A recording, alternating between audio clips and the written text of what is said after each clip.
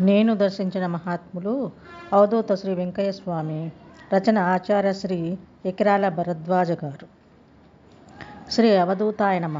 అధ్యాయం మూడు అవధూత చర్య. మహాత్ములందరిలోనూ అవధూతలు అగ్రశ్రేణికి చెందినవారు. నాశము లేకుండుట అక్షరత్వం మహోన్నత స్థితి వరణ్య వరణ్యత్వము లేశమైన పాపం లేకుండుట దూత కల్మషత్వము బ్రహ్మజ్ఞానము కలిగిండుట. ఇవి అవధూత లక్షణాలని శాస్త్రం చెబుతుంది. వీరు పసిపిల్లలు పిచ్చివారు లేక పిచాచగ్రస్తుల వల్లే కనిపిస్తారని ఆదిశంకరులు చెప్పారు. వీరికి తామే దేహమన్న భ్రాంతి ఉండదు. సర్వజీవులలోనూ ఉన్న ఆత్మే తామై ఉంటారు. ఈ అవధూత సాంప్రదాయానికి మూలపురుషుడు శ్రీ దత్తాత్రేయుడు. అవధూతలందరిలోని ఆత్మజ్ఞానమే ఆయన. స్నానఘట్టాలన్నీ ఉన్నా గంగానది ఒక్కటే.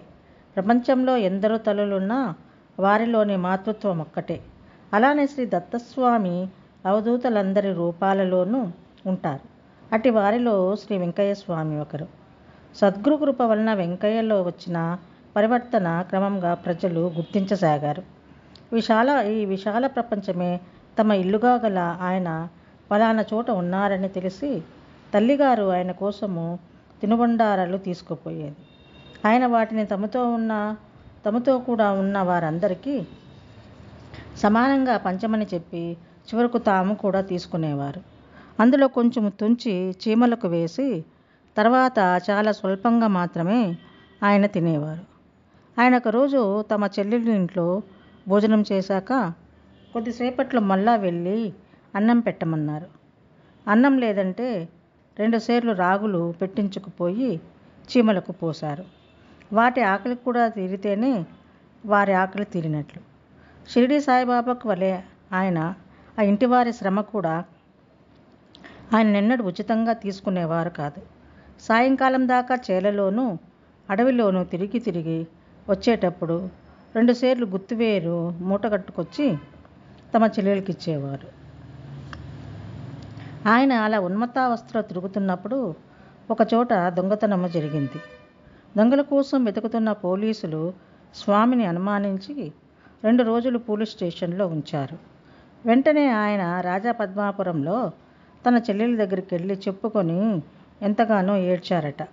ఆమె నిన్ను బంధించిన వారిని తీసుకొచ్చి కొడతాంలే అని ఓదార్చాక ఊరుకున్నారు. ఇటువంటి బాలచేష్టలతో పాటు వారిలో ఎంతో నిర్దిష్టమైన ఆధ్యాత్మ దృష్టి కూడా తొంగి చూచేది. వారి తల్లి చనిపోయినదని చెబితే అమ్మ ఉండ్లా?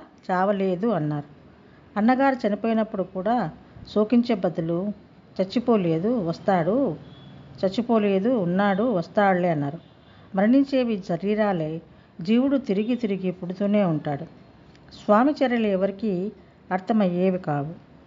బద్వేలు వద్ద పెన్నానదికి స్వయంగా ఇసుక మూసి ఐదు అడుగుల ఎత్తున కట్ట వేసేవారు అలా నిలిచిన నీటిని చిన్న కాలువల ద్వారా నది ప్రవాహానికి ఎదురుగా కొంత దూరం పారించి తిరిగి ప్రవాహంలో కలిపేవారు.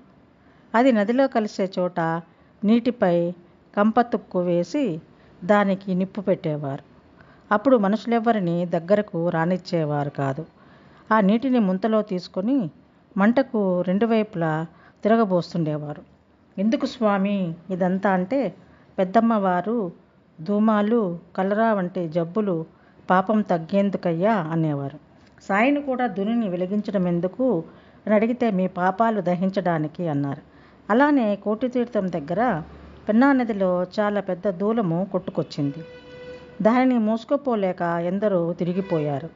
కానీ స్వామి ఒక్కరే దానిని తెచ్చి తమ అగ్నిగుండంలో వేశారు. బంగారం లాంటి దూలాన్ని ఆయన పాడు చేశారని కూపించి ఒకడు ఆయన చెంప మీద కొట్టాడు. అతడు తిరిగి ఇల్లు చేరేసరికి అతని ఇల్లు తగులబడుతుంది. పక్క ఇండ్ల వారు మొరపెట్టుకుంటే స్వామి పాపమున్నంత వరకు కాలిపోతుంది మిగిలినది నిలుస్తుంది అన్నారు. నిజానికి ఆ కొట్టినవాడి ఇల్లు ఒక్కటే తగలబడింది. మరొక రోజు స్వామి ముదిగేడులో ఒకరింటికి వెళ్ళి ఆ ఇల్లాలని పిలిచి నేనమ్మా పిచ్చోడిని అంత ముద్ద పెడతావని వచ్చాను అన్నారు. అన్నం పెట్టిన తర్వాత నాలిక్కాడకు ఏమైనా అంత వేయమ్మా అన్నారు. ఆమె విసుక్కుంటూనే అంత పచ్చడి వేసింది. ఆయన అంత దార వేయమ్మా అన్నారు. ఆమె కోపగించుకొని నెయ్యి లేదన్నది. ఆయన వినిపో ఆయన వినిపించుకోకుండానే ఉట్టిపైన దుత్తులో ఉంది వెయ్యమ్మ అన్నారు. కానీ ఆమె కుసిరి కసిరి కొట్టింది.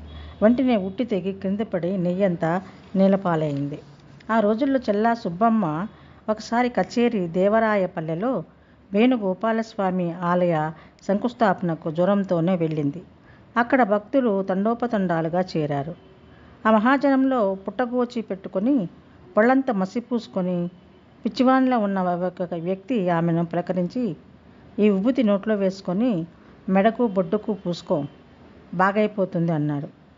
నీవెవరని అడిగితే నేను అడవులలో ఉంటాను ఊళ్ళల్లోకి రాను ఈయన జాబు రాస్తే వచ్చాను అని వేణుగోపాలస్వామి ఆలయం చూపాడు. ఆ విభూతి తినగానే ఆమెకు జ్వరం తగ్గిపోయింది. ఆమె ఆశ్చర్యంతో నువ్వెక్కడుంటావు? నువ్వెక్కడుంటావంటే కోటి తీర్థం దేవాలయంలో శుక్రవారం వచ్చి దేవాలయం మీద చూడు అన్నారు. ఆ తర్వాత ఆయనే వెంకయ్య స్వామి అని తెలిసి కోటి తీర్థం దేవాలయానికి వెళ్ళింది. నాటి రాత్రి ఆమె మెలకువగా ఉండగానే చెప్పలేని సౌందర్యంతో పార్వతీదేవి దర్శనము ఇచ్చింది. దేవాలయం పైన ఆమెకు ఒక దివ్యమైన వెలుగు కూడా కనిపించింది. అది మొదలు ప్రతి శుక్రవారము స్వామిని సేవిస్తూ వారికి నూతన వస్త్రములు ఆహారము మూడు నెలల పాటు సమర్పించింది. అప్పట్లో స్వామి పెన్న నీటికి కట్టలేస్తుండేవారు. వారి దగ్గర పనిచేసే వారికి కూడా ఈమె అన్నం పెట్టేది. భక్తులు సమర్పించే దక్షిణంతా స్వామి ఆ పనివారికి ఇచ్చేవారు ఒకరోజు ఆమె స్వామి నా దగ్గర బంగారం ఉన్నది ఇక్కడ భద్రత లేదు రాత్రికి ఊళ్ళోకి పోయి పడుకుంటాను అంటే ఆయన అమ్మ దొంగలు రారు వస్తే పోరు అన్నారు. ఆమె ధైర్యంగా అక్కడే పడుకున్నది. ఆమెకు అర్ధరాత్రి మెలక వచ్చి చూస్తే స్వామి నిలువెత్తు మంటల్లో ఉన్నారు. దొంగలు ఆయనను కొట్టి మంటలో పడేసి ఉంటారని భయపడి ఆమె ఆ పక్కనున్న దేవాలయంలో దాక్కున్నది. కొద్దిసేపు అయ్యాక స్వామి ఆమె దగ్గరకు వచ్చి కొంచెం పొగాకు పెడతావమ్మా అని అడిగారు. ఆయనను చూచాక ఆమె ప్రాణం కుదుటపడింది ఆమె చూసిన విషయం గురించి అడిగితే స్వామి ఏమీ చెప్పలేదు. ఆ రోజులలో పసుపులేటి లక్ష్మమ్మ తరచుగా వచ్చి స్వామి సన్నిధిలో భజన చేసుకునేది చేసుకున్నది.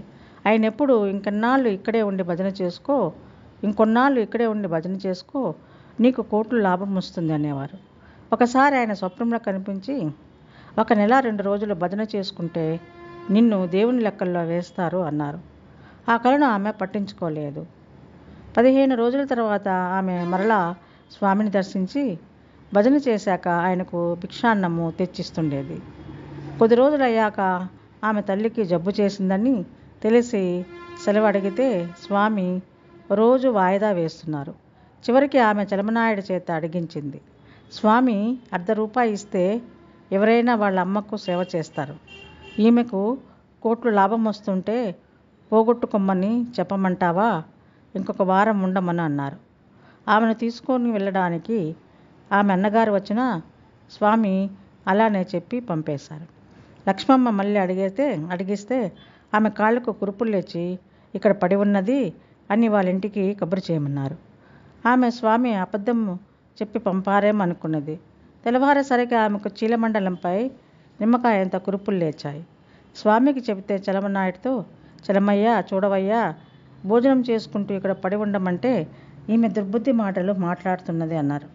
మొదట్లోనే స్వామి మాటలు విననందుకు పశ్చాత్తాపడింది ఆ సాయంకా ఆ సాయంకాలమే స్వామి ఏమమ్మా కురుపులేచాయా పోతాయిలే అని ఆమె పాదాలు తన చేత్తో నిమిరారు. రెండు రోజులలో కురుపులు పోయాయి. స్వామి స్వప్నంలో చెప్పిన తమ ఆదేశాన్ని ఆమె చేత పాటింపజేసి అపారమైన పుణ్యము ఆమెకిచ్చారు. మరో రోజు ఆమె సెలవు అడిగితే సంతోషంగా చీటీ వ్రాయించి ఆశీర్వదించి వెళ్ళమన్నారు. ఆమె స్వామి నెల రెండు రోజులు భజన చేస్తే లెక్క సరిపోతుందన్నారే. ఆ తర్వాత సంగతి ఏంటి అంటే స్వామి అంతవరకు ఒక మెట్టు ఎక్కావు ఆ తర్వాత ఇంకా ఉంది అన్నారు.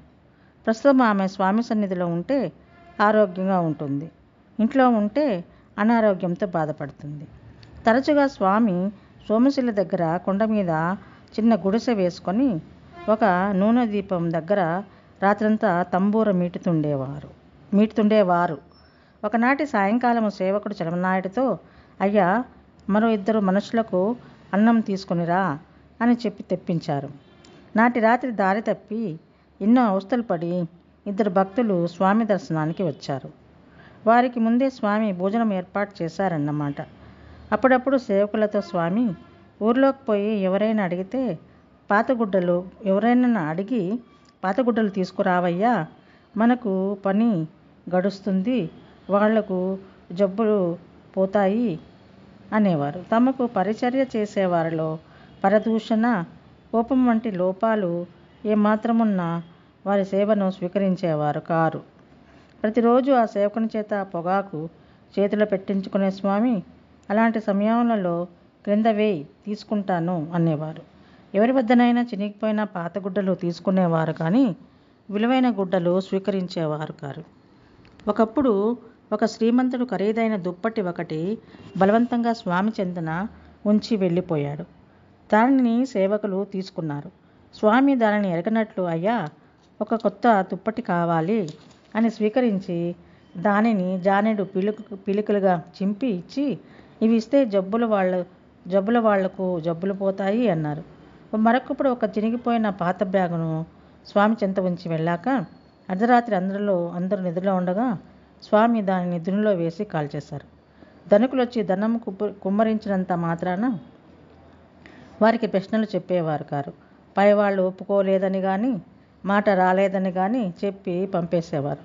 భక్తి శ్రద్ధలు గల వారికి వారు అడగకుండానే తమ ఆశీస్సుల చీటీ వ్రాయించి ఇచ్చేవారు కోరికలు తీరిన భక్తులు సంతర్పణ చేసిన పండుగ నాడు కూడా వారు మాత్రం భిక్షాన్నం మాత్రమే తినేవారు. అయ్యా వీరు పెట్టారు కదా అని మనం భిక్షకు పోకుంటే రేపు మళ్ళీ వెళ్ళినా పెట్టరయ్యా అనేవారు.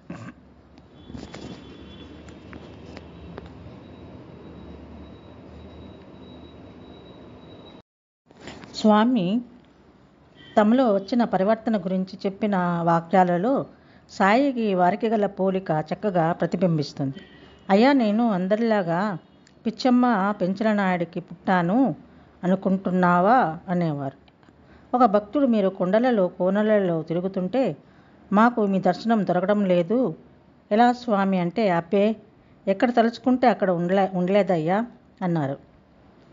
రాఘవరెడ్డి పెద్ద జబ్బుతో స్వామి వద్దకు వచ్చి తన జబ్బు నయం చేస్తే చాలా డబ్బు ఇస్తానని చెప్పాడు. సేవకులతో స్వామి ఏమిటయ్యా ఆయన అనేది అందరికీ మనం ఇస్తుంటే ఆయనేంది మనకిచ్చేది అన్నారు. మరొకసారి స్వామి మీరు కొండల్లో గుట్టల్లో తిరుగుతుంటే మేము దర్శించడం ఎలా అన్నారు ఒకరు. అదేముందయ్యా కొండ మీదకు ఎక్కి బోటు రాయి మీద అద్దము నేరుగా పెట్టి చూస్తే మీకు మాకు దూరము బెత్తడే కదయ్యా అన్నారు.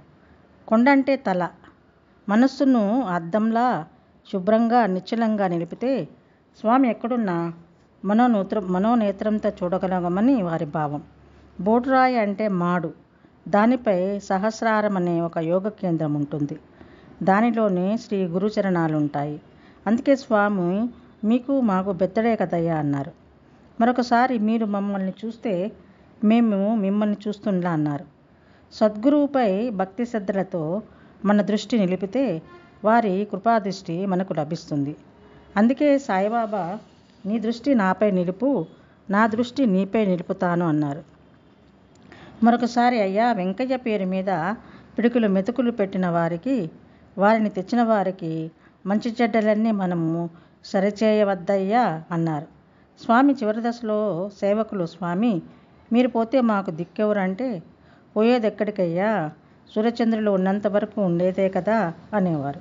అంతేకాదు ఒకప్పుడు ఆయన అన్నారు ఇప్పుడేముందయ్యా వెంకయ్య చాటుకుపోయిన తర్వాత కదా ఉండేది. ఇక్కడ నెల్లూరు రంగనాయక స్వామి గరుడ సేవ జరిగినట్లు జరుగుతుంది. పూర్తి విశ్వాసంతో ఇక్కడికి వచ్చి ఏ పని అనుకుంటే అది అయ్యేదే కదయ్యా అన్నాడు. అన్నారు. చ చంచలమనాయుడు చలమనాయుడు పోలిరెడ్డి మొదలగు సేవకులతో కలిసి స్వామి నెల్లూరు ప్రాంతంలోని గ్రామాలలో సంచరిస్తూ అప్పుడప్పుడు అగ్నిని కూడా సేవించేవారు. భక్తులకు సిరాతో కాగితాలపై తమ వేలి ముద్రలు వేసి ప్రసాదంగా ఇచ్చేవారు స్వామి. అందుకే రోజు ఎన్ని కాగితాలైనా ఎంత సిరా అయినా సరిపోయేవి కావు. వారి కృప వలన తమ వ్యాధులు పశువుల వ్యాధులు ఆపద తొలగిన వారు స్వామికి కాగితాలు సిరాబిళ్ళలు బస్తాల కొద్దీ సమర్పించేవారు. స్వామి భోజనం చేసే పద్ధతి చిత్రంగా ఉండేది. మొదట ఆయన విస్తరి నిండా అన్నం పెట్టించుకొని దాని అంచు వెంబడి కట్టవలే చేసి మధ్యలో మళ్ళీ అన్నం పెట్టించుకొని మజ్జిగ పోయించుకొని తినేవారు. తర్వాత విస్తర చుట్టూ కట్టలా ఉన్న అన్నమంతా ఏ వైపుది ఆ వైపుకు నేలపై చల్లేవారు.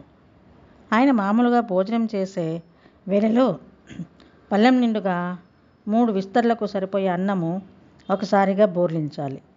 మొదట ఆ సిర చేత్తోనే అన్నదాతకు ఒక విస్తరి సరిపడా ప్రసాదం ఇచ్చేవారు. రెండవ విస్తరి నిండా వడ్డించిన దానిని పెద్ద ముద్దలు చేసి విస్తరి చుట్టూ పెట్టి వాటి చుట్టూ చిన్న ముద్దలు పెట్టి మారు వడ్డించుకొనకుండా మిగిలిన అన్నమే తినేవారు. ఒక్కొక్కప్పుడు పండు మిరపకాయలు ఉప్పు ఎర్ర ఉల్లిపాయ అన్నంలో కలుపుకొని తినేవారు. అరుదుగా కొంచెం బెల్లమో లేక కరివేపాకు చింతాకు ధనియాలు వేసిన కారప్పొడి అడిగి పెట్టించుకునేవారు. ఒకప్పుడు తమ నడినెత్తిన త్రాకిన తమ చేతిని ముమ్మారు అన్నానికి అద్ది ఒక భక్తునికిచ్చి అందరికీ పెట్టయ్యా జబ్బులు పోతాయి అన్నారు. వారు అలాగే చేశారు. ఒక్కొక్కప్పుడు ఆయన ఆకు వక్క పెట్టమని ఎంతో తొందర పెట్టేవారు. అది తిని చప్పగా ఉందయ్యా ఉన్నదయ్యా కారంగా వేసి ఇంకొంచెం పెట్టు అనేవారు. ఈసారి సున్నం కాస్త ఎక్కువ పెడితే తినమ్మా ఇది బాగుంది తిను అని ఎవరో అదృశ్య శక్తితో అన్నట్లు చెబుతూ తినేవారు. తర్వాత ఆమెను పొమ్మని చెప్పయ్యా అంత నేను చూసుకుంటాను అనేవారు. స్వామికి నిత్యము ఏ సేవ అయినా ఒకరే చేయాలి. ఇలా జావ పోసే పని రోసిరెడ్డి చేసేవాడు. ఇంకెవరు పోసినా త్రాగేవారు కాదు. ఆయన జావ మాత్రమే త్రాగే రోజులలో అప్పుడప్పుడు తెల్లగడ్డలు వెల్లుల్లి ఉడకబెట్టి కానీ కాల్చిగాని ఇమ్మని అడిగి చప్పరించి మృంగేవారు. ఒకరోజు వేరొకరు అన్నం పెట్టపోతే వారిని పొమ్మని చెప్పి రోడ్ రోసిరెడ్డిని పిలిచి అన్నం నువ్వు పెడితే పెట్టు లేకుంటే నన్ను బండిలో ఉంచి ఆశ్రమంలో నుంచి లాగేయి అనేవారు. కట్టెలు కొని కొట్టి తెచ్చే రమణయ్యతో ఒకరోజు స్వామి ఈ ఈరోజు ఇక్కడ ఉండి నీళ్ళు నిప్పు చూడయ్యా అన్నారు. అతనికి అర్థం కాక కట్టెలు కొట్టడానికి వెళ్ళి చెట్టు మీద నుండి కింద పడ్డాడు. భుజం దగ్గర ఎముక విరిగింది. కానీ అతడు ప్రక్కనే బెత్తడు. దూరంలో ఉన్న బండ మీద బండల మీద పడి ఉంటే మరణించేవాడు. ఆ సంగతి చెబితే స్వామి ఆయనకు ఆసుపత్రి ఆపు దిక్కు అని చీటీ వ్రాయించాడు. ఆయన మాట వింటే ఆయనే దిక్కు. వినని వారికి ఆసుపత్రి దిక్కు. ఆయన పద్ధతి మాత్రం పోయేవారిని పోనిచ్చేదే కదయ్యా అన్నదే. సామాన్యంగా అగ్నిగుండాన్ని ఏ సేవకులు సవరిస్తున్నా ఆయన అడ్డు చెప్పేవారు కాదు. కానీ ఒక్కొక్కప్పుడు దాని చెంతకు ఎవరిని రానిచ్చేవారు కారు. అబ్బో ఇప్పుడు తాకవచ్చా? అనేవారు. ఒకసారి బొంతజముడు కట్టెలు మండుతుంటే స్వామి పక్కపక్క నవ్వుతూ బొంతలు బొట్లాడుకుంటున్నాయ్యా అనేవారు. అగ్నిగుండాన్ని ఎవరిని తాకనీయని రోజున ఒక వ్యక్తి అక్కడ నుంచొని వెనకాడుతుంటే స్వామి ఏమయ్యా? బీడి కాల్చుకుంటావా? కాల్చుకో. అని ఆ నిప్పుతో అతడిని బీడి అంటించుకొనిచ్చారు. ఇక స్వామి పడుకునే విషయము గమనిద్దాము. మొదట ఆయనను వరిగడ్డిపై ఈత లేక తాటాకు చాప వేసి దానిపై గోనపట్టా కప్పి కూర్చోపెట్టేవారు. ఆయన దానిపైనే పడుకునేవారు. ఒక్కమ్మ అనే సేవకురాలు ఒకసారి ప్రోగు చేసిన దొండ పొట్టుతో పరుపు తయారు చేసి వేసింది. అది చినిగిపోయాక భక్తులు దూది పరుపులు వేశారు. మహాసమాధికి మూడు సంవత్సరంల ముందు నుండి ఆయన సమాధి స్థితిలో ఉండేవారు. రాత్రి పగలు తెలియట్లేదయ్యా ఇప్పుడు వృద్ధెంత? అనేవారు. అలానే ఇది ఏ ఊరయ్యా? అని అడుగుతుండేవారు. ఆత్మనిష్టలో సూర్యచంద్రుల గమనమే తెలియదని శాస్త్రములు చెప్తున్నాయి. అందుకే భక్తులు వారికి పరుపు వేసినా ఆయన ఎట్టి అభ్యంతరం చెప్పలేదు. ఒక్కొక్కప్పుడు రెండేసి రోజుల పాటు తెంపు లేకుండా బండి ఆపండయ్యా నరుస్తూ కదలక ఒక ఆసనంలో కూర్చునేవారు. తర్వాత రెండు రోజులు యోగ నిద్రలో ఉండేవారు. అలాంటి సమయంలో పంతొమ్మిది వందల పంతొమ్మిది వందల డెబ్బై తొమ్మిది ప్రాంతంలో ఒకరోజు మధ్యాహ్నం మూడు గంటలకు ఆయన లేచి కూర్చొని అప్పుడే వచ్చిన పెసల సుబ్బరామయ్యకు చీటీ వ్రాయించి ఇచ్చి ఆశీర్వదించి మళ్ళీ నిద్రపోయారు. భక్తులు జావ త్రాగమని పిలిచినా వినిపించుకోలేదు. కొద్ది నిమిషాలలో సుబ్బరామయ్య అమ్మమ్మ గారు మరణావస్థలో ఉన్నారని కబురు వచ్చింది వెంటనే అతడు ఇల్లు చేరి స్వామి పాదతీర్థము విభూతి ఆమె నోట్లో వేస్తే ఆమె త్రాగింది. మందు మాత్రము తాగలేదు. మరుక్షణమే ఆమె ప్రాణం విడిచి సద్గతి పొందింది. అంటే అంత నిద్రలోనూ స్వామికి తమ ఆశీస్సుల కోసము సుబ్బరామయ్య వస్తున్నాడని మరికొంతసేపటికి అతని అమ్మమ్మ మరణిస్తుందని తెలుసునన్నమాట. అకల్కోట స్వామి కూడా ఎంత గాఢ నిద్రలోనైనా లేచి భక్తుల మనసులోని భావాలకు సమాధానం చెప్పి నిద్రపోయేవారు. సాయిబాబా కూడా రాత్రి సమయంలో ఎక్కడెక్కడ ఆర్తులను తాము ఎలా ఆదుకున్నది చెబుతుండేవారు. స్వామి తిరిగే రోజుల్లో కూడా చెప్పులు వేసుకునేవారు కారు. ముళ్ళు గుచ్చుకుంటే తీసుకునేందుకు మల్లెముళ్ళు సూది దబ్బనం చాకు తమతో ఎప్పుడు ఉంచుకునేవారు. వారి కాళ్ళ నుండి భక్తులు పెద్ద ముళ్ళు కూడా తీస్తుండేవారు. తర్వాత భక్తులతో కలిసి తిరిగే రోజులలో కూడా ఆయన చెప్పిన వెంటనే సేవకులు అందరూ బయలుదేరి బయలుదేరవలసినదే. ఛార్జీలకు డబ్బు లేదనే భక్తులంటే అదే వస్తుంది కదలండి అయ్యా అనేవారు. భోజన సమయమైనా కూడా ఒక్కొక్కప్పుడు అన్నం తినే వరకు కూడా ఆయన ఆగేవారు కారు. భోజనం సంగతి ఎత్తితే అన్నం వస్తుందిలే పదండి అయ్యా అనేవారు. ఒకసారి అలానే అకస్మాత్తుగా అందరూ బయలుదేరి తలపూరు బస్టాండ్కు చేరారు. మొదట బస్సు రాగానే స్వామి ఇది కాదు. తర్వాత బస్సుకు పోదామన్నారు. ఇంతలో పొట్టెపాలెం దాదిలక్ష్మమ్మ గారు కారులో స్వామి దర్శనానికి వచ్చి గంపతో దోశలు వడలు పొంగలి పులిహోర తెచ్చి అందరికి పెట్టి వారి అవసరానికి మించిన పైకము దక్షిణ సమర్పించింది.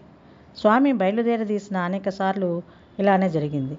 స్వామి తిరిగే రోజులలో మోపురి దసయ్య వెంకటయ్య వంటి సేవకులు కట్టెలు బుంతజమ్ముడు చెట్లు కొట్టుకొని వచ్చేవారు. వారితో కూడా స్వామి వెళ్ళి కొన్ని చెట్లను చూచి వాటిని కొట్టమనేవారు. ఆలోగా ఆయన కొంత దూరంలో ఏకాంతంగా తిరుగుతుండేవారు. రమణయ్య కట్టెల బండిలో ఆ కట్టెల బండిలో ఆశ్రమానికి తోలేవాడు. ఇలా కొన్ని మైళ్ళ వరకు చెట్లు లేకుండా పోయాయి. స్వామి ఇదంతా పంట చేయలవుతాయ్యా చిన్న చిన్న పంటలు పండుతాయి అని కానీ ఇక్కడంతా ఊరవుతుంది. గౌపాదమంత స్థలం కూడా చిక్కదు అని కానీ అనేవారు. అదంతా ఈనాడు నిజమైంది. స్వామి వృద్ధులై నడవలేకుండా వచ్చాక ఒక ముంతలో మూత్ర విసర్జన చేస్తే తీసేసేవారు. మల విసర్జనకు ఊరి బయట ఏకాంత ప్రదేశానికి తమను తీసుకువెళ్ళమనేవారు. అక్కడ గడ్డి లేక ఆకులు పరిచి దానిపై ఈత చాప వేసి పడుకోబెట్టి దూరంగా వస్తే మలమూత్ర విసర్జన చేసేవారు. వెంటనే వేడి నీటి స్నానము చేసేవారు. మహాసమాధికి ఒక సంవత్సరం ముందు ధ్యాననిష్టలో బాహ్య ప్రజ్ఞ లేక మలమూత్ర విసర్జన పరుపు మీదనే చేసేవారు. స్నానానికి పెట్టిన నీరు కొంచెము ఎక్కువగా వేడిగా ఉంటే అబ్బా అబ్బా అంటూ స్నానం చేసేవారు. వేడి చాలకుంటే చలి చలి అనేవారు. వేడి సరిపోతే అది అది అంటూ స్నానం చేసేవారు. ఒక్కొక్కప్పుడు ఇంకా చాలమ్మ అనేవారు. స్వామిని తుడిచి ప్రక్కపై పడుకోబెట్టాక వారికి ఓపెనం పిండిన నీటిని సేవకులు తీర్థంలా స్వీకరించేవారు. అందువలన వారికి ఎన్నో రోగబాధలు తగ్గేవి. సాయిబాబా భక్తులు అనుభవం కూడా ఇట్టిదే. స్వామి సబ్బు రుద్దునిచ్చేవారు కారు. సీకాయ పొడి వంటినే వాడవలసి వచ్చేది.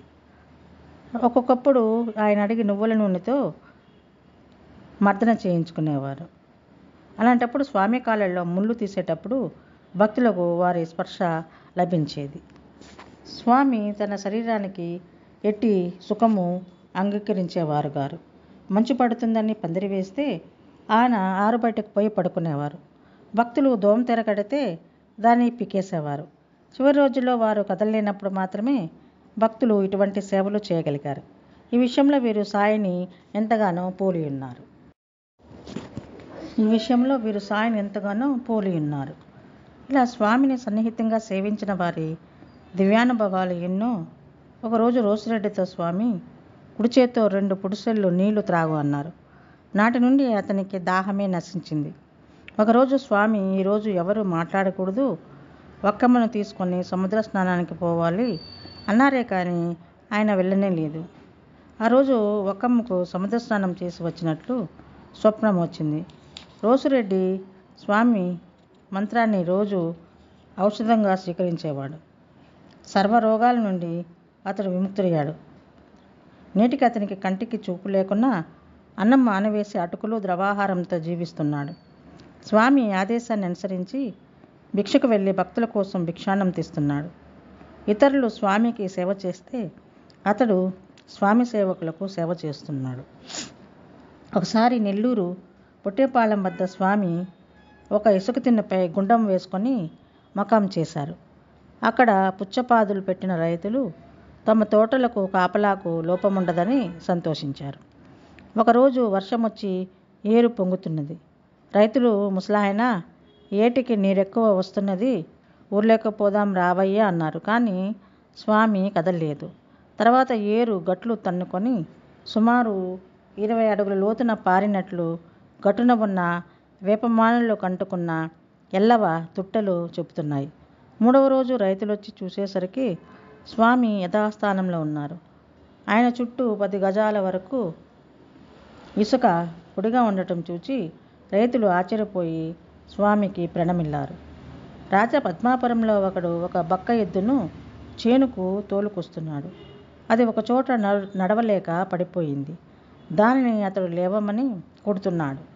అక్కడికి కొంత దూరంలో ఉన్న స్వామి ఒక సేవకుని పిలిచి అయ్యా ఈ దారిని పోయే ఎద్దును కొట్టే ఆయనతో కొట్టవద్దని చెప్పు అన్నారు. సేవకుడు తిరిగి వచ్చి తాను ఎంత చెప్పినా ఆ వ్యక్తి వినడం లేదని చెప్పాడు. స్వామి స్వయంగా వెళ్ళి ఎద్దులను తాకి లే అన్నారు. దానికంత శక్తి ఎలా వచ్చిందో కానీ చివుక్కున లేచింది. అప్పుడు స్వామి అయ్యా నాలుగు రోజులు బండి కట్టమాకు తర్వాత బాగానే సేద్యం చేస్తుంది అన్నారు. స్వామి రాజపద్మాపురంలో ఒకరింటికి వెళ్ళి తినడానికి ఏమన్నా పెట్టమ్మా అని కేకలేశారు. ఆ రోజు వారింట్లో తినేందుకు ఏమీ లేదు. లేదని స్వామికి చెప్పవలసి వచ్చిందని ఆ ఇల్లాలు వెనకాడుతుంటే వెంటనే స్వామి కొంచెము కారప్పొడి పెట్టమ్మా అన్నారు. అప్పుడు వారింట్లో ఉన్నది అదొక్కటే. ఆమె వెంటనే ఒక గ్లాసుడు మిరప్పొడి ఒక ప్లేట్లో పోసిచ్చింది. ఆయన వెంటనే అదంతా తినేసి ఆశీర్వాదంగా ఆమెకు చీటీ వ్రాయించి ఇచ్చి వెళ్ళాడు. ఒకరోజు స్వామికి కాళ్ళు చేతులు ఒళ్ళు కాలాయి. వారికి అప్పుడప్పుడు మూర్ఛవలే వచ్చేది. అట్టి స్థితిలో వారు మంటలో పడితే కాలిందని అనుకున్నారు. కానీ వారిని అడిగితే అయ్యా పైవాళ్ళు వచ్చి ద్రావకం పోసి పోయారయ్యా అన్నారు. ఆ గాయాలు మానుతుంటే స్వామి వాటిపై చెక్కు పెరికివేసేవారు. ఇలా మూడు నెలలు ఆయన కోరి బాధ తెచ్చుకున్నారు. అవి ఎవరు అనుభవించవలసిన బాధలో. స్వామికి ఒకనాడు నాగజముడు ముళ్ళు గుచ్చుకున్నది. సేవకులు వారి పాదం కుట్టి గాయం చేశారే కానీ పుళ్ళు ముళ్ళు తీయలేకపోయారు. అయినా స్వామి కాలైనా కదల్చలేదు. చివరికి ఇలాగ కోడూరు వెంకమ్మ ఆ ముళ్ళు తీసింది. స్వామి ఆమెకు ఒక మల్లె ముళ్ళు సూది బ్లేడు బహుకరించారు. స్వామి యథేచ్ఛగా సంచరిస్తుండే రోజుల్లో అడవిలో ఆయన ఏం చేస్తారో చూడాలని ఎవరైనా వెంబడిస్తే ఆయన ముండ్లలో అడ్డదిడ్డంగా నడిచి చిక్కకుండా వెళ్ళిపోయేవాడు. సాయిబాబా వల్లే స్వామి కూడా పళ్ళు తోముకునేవారు కారు. చప్పరిస్తున్న పొగాకును ఉమ్మివేసి గంజి త్రాగేవారు. ఒక నియమం లేకుండా బుద్ధి పుట్టినప్పుడు క్షోరం చేయించుకునేవారు. అందరూ మంగళికి యాభై పైసలు ఇస్తే స్వామి రూపాయో లేక రెండు రూపాయలు ఇచ్చేవారు. పంతొమ్మిది వందల ఎనభై సంవత్సరం తర్వాత ఆయన కోరకున్న సేవకుడే అప్పుడప్పుడు మీసాలు గుండు చేయించేవారు. బ్రగిల నాగయ్య స్వయంగా తానే ఆ సేవ చేసేవాడు. గిరిజాలు మీసాలు గల ఆయన మంగళయోగం చాకల యోగం డుబుడుక్ డుబుడుక్ అంటూ అరుస్తూ ఉండేవారు.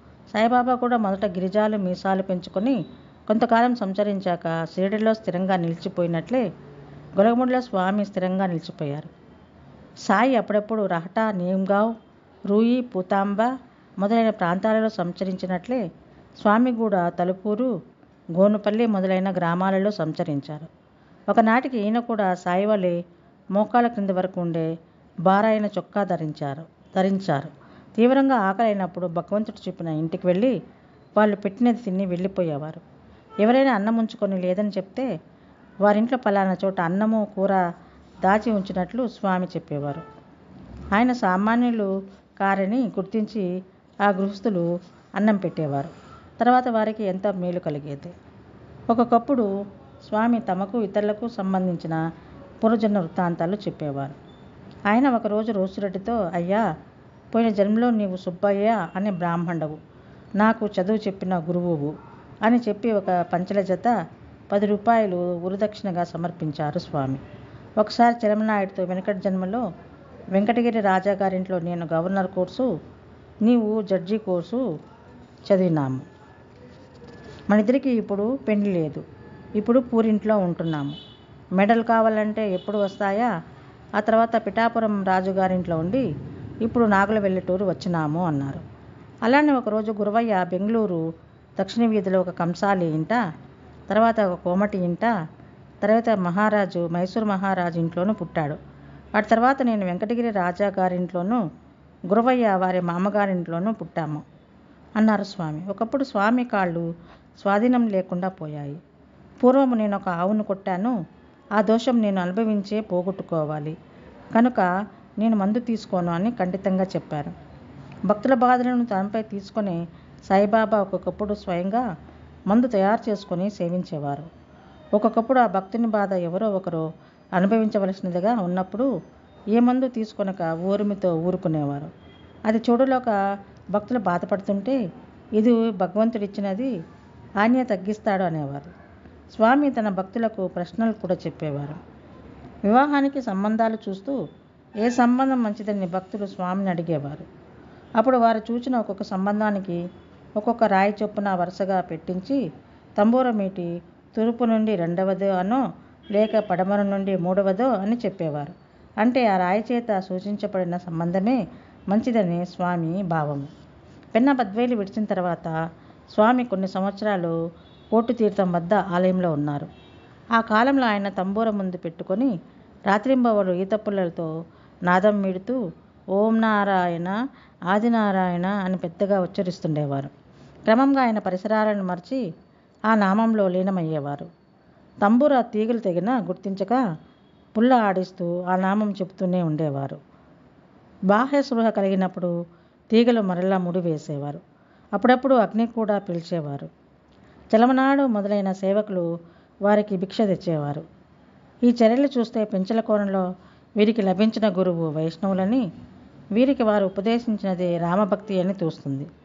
కారణం వారి చొక్కాపై రామనామం ముద్రించబడి ఉండేది.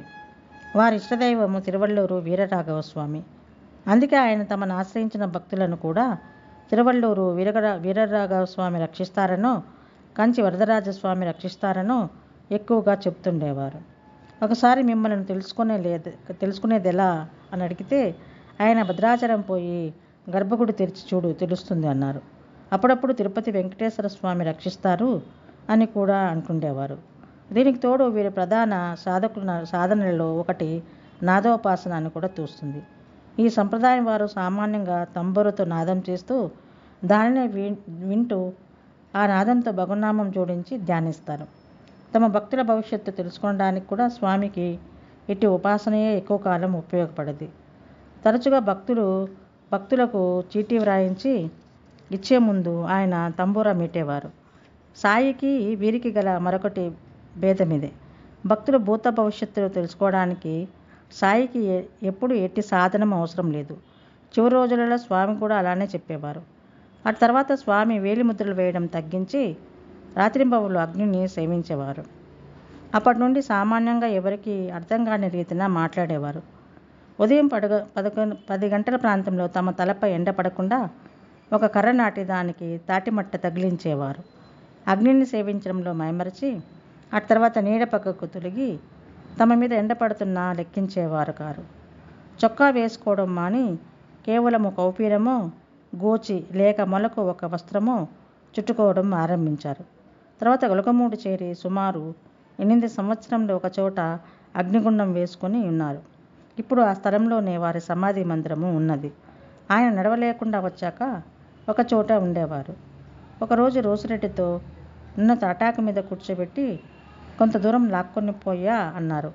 అతడు అలానే చేశాడు. అటు తర్వాత ఒక చిన్న చక్రాల బండి చేయించి దానిపై స్వామిని వారు కోరిన చోటకు తీసుకుపోయేవారు. ఆ బండి గతుకుల్లో పడి స్వామికి బాధ కలుగుతుండేది. అందువల్ల స్వామిని భక్తులు డోలీలో తీసుకువెళ్ళని ఆరంభించారు ఈ రీతిన స్వామివారు మహాసమాధికి సంవత్సరం ముందు వరకు ఆయన నెల్లూరు ప్రాంతంలోని గ్రామాలకే కాక తిరుపతి కంచి తిరువంగలేడు తిరువళ్ళూరు కూడా తీసుకువెడుతుండేవారు.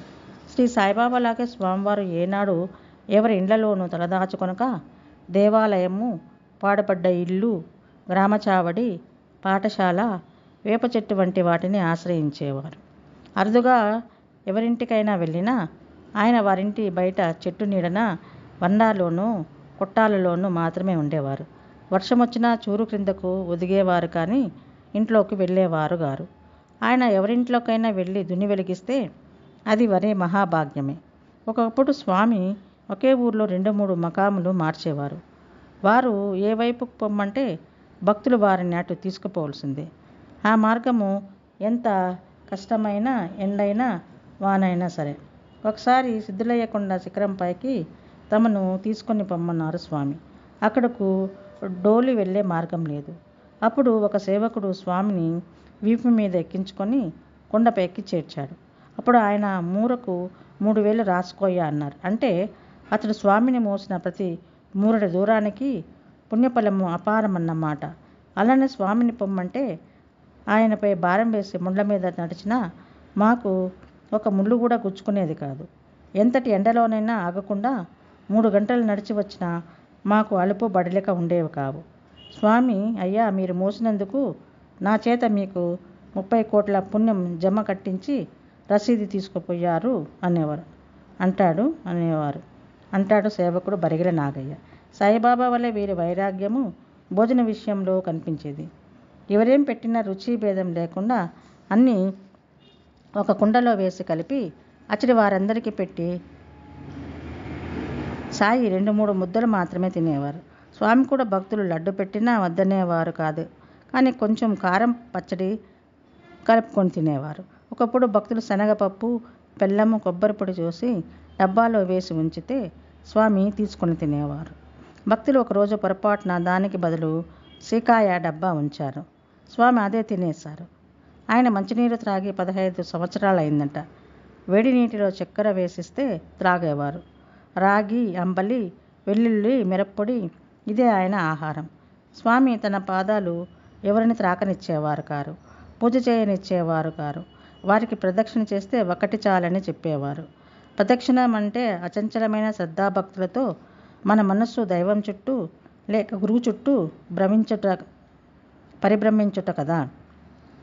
వచ్చిన దక్షిణంతా స్వామి తమ సేవకులను వారి వారి కష్టము అవసరాలకు తగినట్లు ఇచ్చేవారు. పండగలప్పుడు భక్తులు అర్పి- అర్పించిన ప్రసాదాలను ఎప్పటికప్పుడు పంచేయమనేవారు.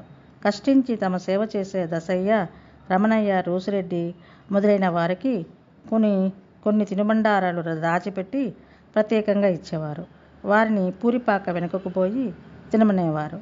గురవయ్య ఎప్పుడు స్వామి చెంతనే ఉండి ఆయన అరుపులకు వంత పాడుతుండేవారు.